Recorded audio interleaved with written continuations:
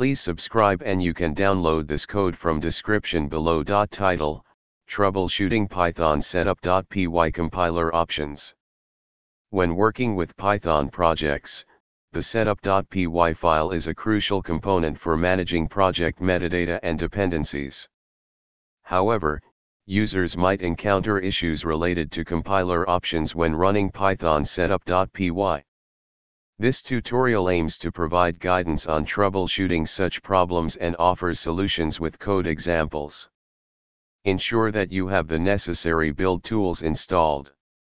For Windows, you can use the Microsoft Visual C++ build tools. On Linux, make sure you have the appropriate compiler packages installed.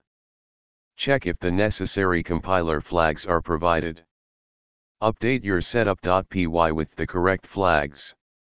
For example, ensure that you have the wheel package installed. Additionally, specify platform-specific compiler options in your setup.py.